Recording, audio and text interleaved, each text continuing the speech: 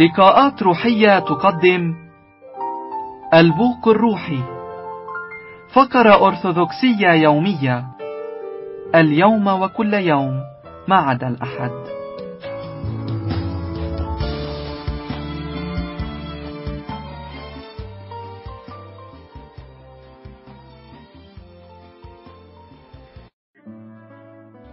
يقول قدس الأب المتقدم في الكهنة جيورجيوس بابا برناباس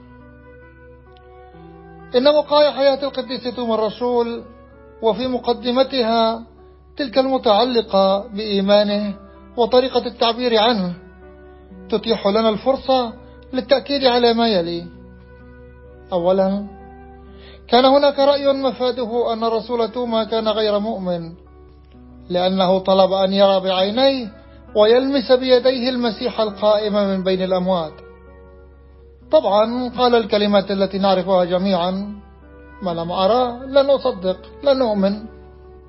لكنه لم يكن غير مؤمن بمعنى أنه كان ملحدا ويشك في قيامة المسيح.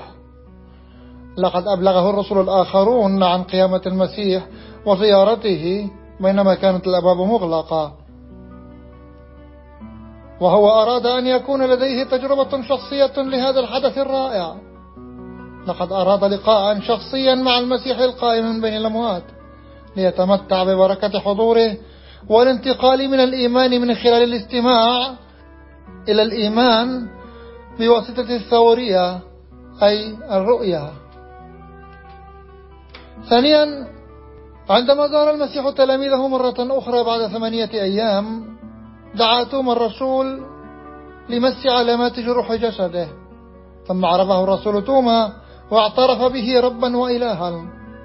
لقد عرفه من جروح الصليب التي هي علامة على حبه وقدرته.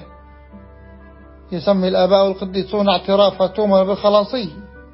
إنه حقا يقود إلى الخلاص كل الذين يفرون إلى المسيح طالبين بتواضع رحمته. إن المسيح بدون علامات المسامير على جسده ليس هو المسيح الحقيقي. سوف يشبه المسيح الدجال المسيح الحقيقي. من الخارج فقط لكنه لن يكون له علامات الصليب. يتم التعرف على المسيح من خلال علامات جروح الصليب.